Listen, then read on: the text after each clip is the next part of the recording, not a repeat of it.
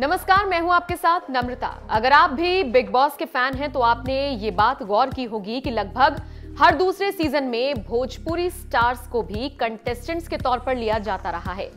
ये सितारे एंटरटेनमेंट तो करते ही हैं, साथ ही साथ इनकी अपनी एक अच्छी खासी फ़ैन फॉलोइंग होती है, जिसका फ़ायदा शो के मेकर्स को होता है। चलिए, आज आपको बताते हैं अब तक बिग बॉस के कौन से सीज़न में जमी किस भोजपुरी सितारे की महफिल। रवि किशन साल 2006 में बिग बॉस के पहले सीज़न में यूँ तो कई सितारों ने हिस्सा लिया था। भोजपुरी स्टार रवि किशन भी इस शो के भागीदार बने थे। शो में रवि ने अपने चिर परिचित अंदाज से सभी का दिल जीत लिया था। संभावना सेठ, बिग बॉस के पहले सीज़न की सफलता को देखते हुए फिर इसका दूसरा सीज़न लाया गया। इस बार सीज़न में तड़का लगाने के लिए संभावना सेठ को बुलाया गया। संभावना की एंट्री के बाद शो की टीआरपी में ज़बरदस्त उछाल हुआ था। न सिर्फ़ अपनी अदाओं से, बल्कि संभावना ने अपनी बुलंद आवाज़ से भी खूब सुर्खियाँ बटोरी थी। Manoj Tiwari, Bigg Boss season चार में एंट्री हुई भोजपुरी इंडस्ट्री के सबसे पुराने सिंगर और एक्टर मनोज तिवारी की। मनोज तिवारी के अंदाज और उनकी भाषा शैली ने उन्हें घर घर में और भी ज़्यादा प्रसिद्ध कर दिया। उन्होंने बिग बॉस के घर में अपनी एक अलग जगह बनाई और लोगों का दिल जीतने में कामयाब रहे।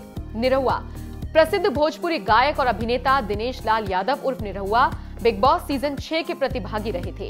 इन दिनों भले ही निरहुआ बीजेपी के मुखर नेताओं में शामिल होते हों, लेकिन शो के दौरान उनकी सादगी ने सभी का दिल जीता था।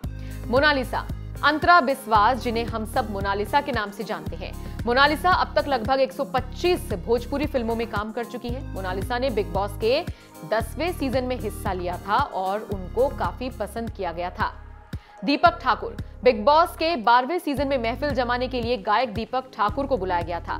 दीपक ने अपने अंदाज से दर्शकों को खूब हंसाया था। बिहार के एक छोटे से गाँव के रहने वाले दीपक आज म्यूज़िक जगत में जाना माना नाम है। खेसारी लाल यादव। बिग बॉस तेरह में भोजपुरी सुपरस्टार खेसारी लाल यादव ने एंट्री की थी। हालाँकि शुरुआत में घर में वो बिल्कुल एंटरटेनिंग नहीं दिखाई दिए। धीरे धीरे वो ट्रैक पर आने लगे थे, लेकिन बात नहीं बन पाई और उन्हें घर से बाहर का रास्ता दिखा दिया गया था। अब इस खबर के बाद कमेंट करके हमें ज़रूर बताइएगा कि आपका पसंदीदा कौन सा ऐसा भोजपुरी सितारा है जिसने बिग बॉस के घर में एंट्री की थी।